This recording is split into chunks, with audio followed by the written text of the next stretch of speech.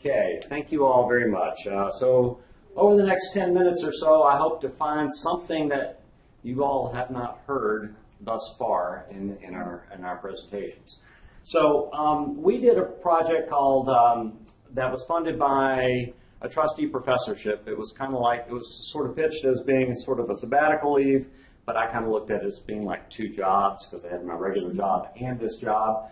But my colleagues here helped me develop a program where we went out and and met with a bunch of different different groups.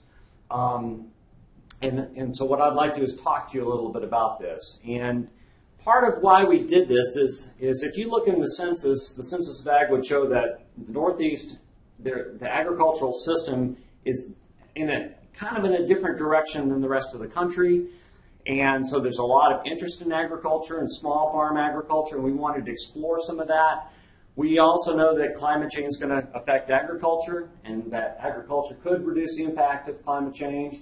And so what we were, one of the things out of the bigger project we were looking for is what are farmers thinking about climate change and what kind of changes are they doing to protect soil and water resources as that's what I, that's my field of working.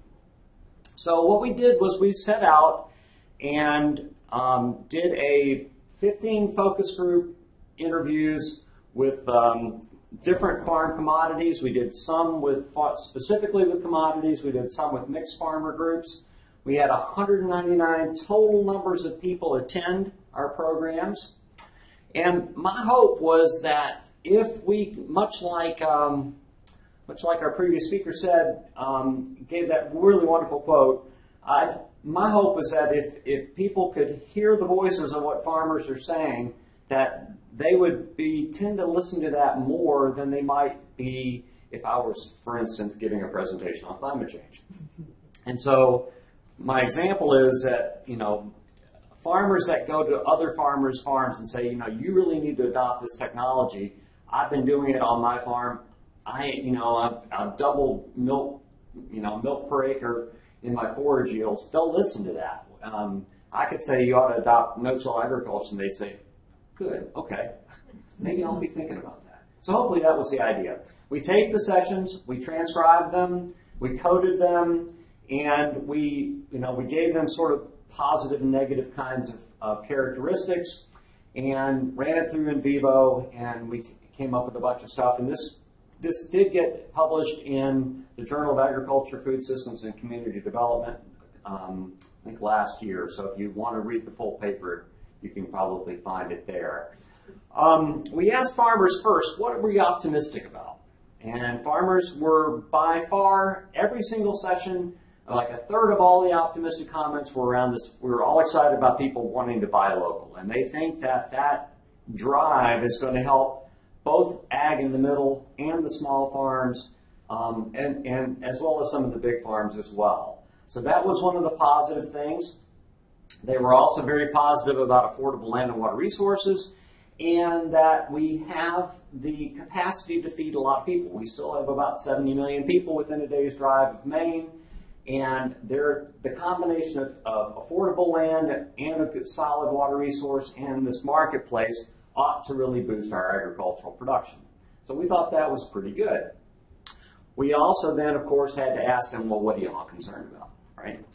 And there, the kinds of things, the increasing cost of production, that's probably expected. I'm sure you all are about to fall out of your chairs that they were concerned about too much regulation. I knew that. Only one farmer out of all of the farmers and the advisors that we talked to, only one said, Are we doing enough for soil quality and soil productivity? That really surprised me. And only one concern came out from a grower before we asked the questions about, I'm concerned about the lack of predictable weather. Now this was, I, I was very shocked about that. And this is after a time of 2009 when we had nothing but the wettest summer on record and late blight and all sorts of stuff. And then 2010, I was planting mustards in my yard on St. Patrick's Day. I mean, normally there's this much snow in May on St. Patrick's Day. And then again in 2012. And so just the fact that we had all this weird weather, and that, that did not elicit much more of a response than that. So that was pretty interesting. And so I left the feeling, and I left all of this with this feeling that farmers, yes, they adapt and they manage for risk, and, and that is what drives them, and that's why they aren't concerned about weather because they know it's going to be weird and they know they're just going to try to adapt. And I think that's why we ended up with that kind of response. We then, along the way, asked them a couple of more questions. We asked them, what, what kind of changes are you making on your farm with respect to fluctuating weather conditions? And we used the, those three words very specifically because we didn't want to set anybody off. And we also asked them, what are you doing with respect to fluctuating energy prices? So those, we got a paper out on the energy prices, and we got a paper out on the weather thing. So that was kind of fun. And one of my favorite comments was this. We make ch- changes all the time to whatever the situation is. In the end, I've got to have a crop to feed my cows, and I'm not trying to anticipate that next year I'm going to be in the field on May 15th. I'm going to be ready to be in the field on May 15th, but if that doesn't work, we'll get there somehow. So what that just says to me is that dairy farmers really don't care that the weather is going to, you know, they're, they're just, they're just they just take it what comes. And so if we're going to reach them, I think we need to, to kind of appeal to that can do spirit, will do spirit when we talk to them about what we want them to do. And if we do it that way, I think it's going to help. We did hear a few climate denial kinds of comments when we went in and started in on this. And these are, you know, um, are not too unusual to you, I wouldn't think. Um, but um, some, but some of these are, are are kind of typical of what you might expect, I guess. One of the things I thought might be kind of interesting to you would be to um, show how the NVivo output looked at the different groups. And, and the one I'll focus on is this one because uh, we had apples. This was the Maine Landscape and Nursery Association I wasn't really going to do anything, anybody but farm, you know, people that grew food, but they asked me to come. I said, all right, we'll, we'll, we'll come. And then we did beef and blueberries. And it was kind of interesting that in this particular question, this group kind of separated out from the other groups. And a lot of it was related to labor, particularly with the landscape nursery people. They're always trying to find good labor. And we know apples and blueberries are always trying to find labor, and those are pretty big issues but there were a lot of climate change related things. And, and when you think about fruit and you think about it just dangling out there at the whim of nature, you know, you can understand that they would be talking about that. And it was some of those comments that were really the strongest about, I know the climate is changing. I'm out in the field spraying my first sprays in, in apple production uh, three weeks earlier, and I've got my pesticide records to show it. And, and that was kind of an interesting thing. Um, and you know, the, some of the beefers were kind of interested in the carbon sequestration um, uh, component as well. So, so I think that's why that particular group separated out like it did. The beefers were probably the most interesting session. That was a, a nighttime session up in the county, and um, I went into it, and my memory was that the, the, the room had a most unusual aroma of tobacco, manure, and alcohol. and they were chuckling and they were having a really good time. And, and, and, so they were a little bit more open than some of the other ones. And, and they were very sensitive. They, you know, they've been reading the data. They, they're concerned about being responsible for all of this. And they, they've read this kind of, these kinds of um, exposés about them. But, um, but they were kind of fun. And, and, and, you know, I, what I try to do today is try to talk to them about, well, you know, we have some systems that are really, really good. I mean, we can take marginal land, we can grow great forages, we've got a lot of water, we can convert protein, cellulose into protein and make a really good positive product. And, you know, these sorts of, these systems are good for water quality and they're, they're really, really positive. So I think sometimes it's reaching them to what they do well and get them, uh, you know, to step back from the fears of what climate change and, and perhaps in, in using some, some of the data that we've learned here, I think would be really, really beneficial to go back to some of them today. Our dairy farmers are, um, are, are another interesting group.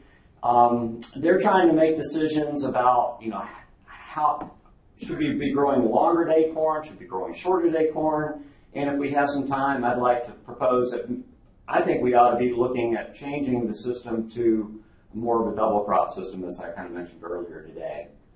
Um, so the, yeah, so basically the industry is telling these guys that they should grow longer corn because the seasons are getting longer. I actually disagree with that, and, and for us, we've had the coldest January through June that we've had in, in history, uh, recorded like since the 1800s or something. So just because it's getting warmer somewhere doesn't necessarily going to mean it's warmer in Maine or Vermont or New Hampshire. So we should be trying to hedge our bets and reduce our risk by going with shorter season corn and maybe getting a cover crop out there to hold that nitrogen and, and protect the soils that are on the fields. Um, so that's, that was the, the point that I said earlier. Potatoes were are another really really interesting crop for Maine, and I really look at them as sort of the climatic Faustian bargain because they really serve to gain by being a C3 plant. They're going to they're going to the productivity is going to increase as CO2 increases to a certain extent, and then it's going to crash. And so the, the models say, you know, 20 to 30 years, you're going to benefit from this. And so they're like going, okay, Jemison, drive, drive to New York. Keep going, buddy. Blow it all back here to us.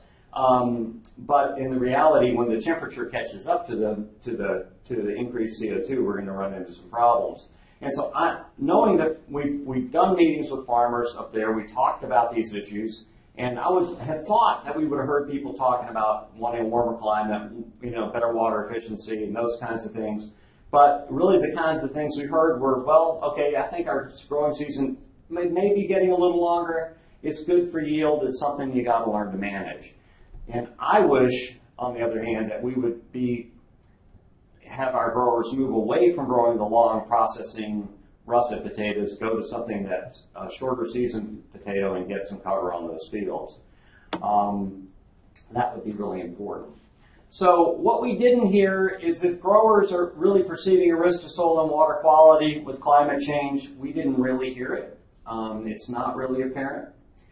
And I think to avoid the controversial stuff, particularly groups that are that you're already coming into and they're already sensitive to the issue, Talk to them about managing short-term risks. That's all I ever talk to them about. I don't care if they buy into climate change. I don't care if they, you know, if that's important to them really at all in the long term. I mean, I'd like them to think about turning off their tractors when they're just idling out there. That drives me crazy. And, and you know, they could do a lot of things, and maybe if they had a greater appreciation, they might they might do things differently. But at least if we focus on managing short-term risks, that'll be great. And again, try to utilize the can-do spirit um, to to adopt and motivate to, to adopt some new land use management strategies. So that's what I wanted to talk about, and uh, our hay burners will uh, maybe our future. You just never know. Thank y'all.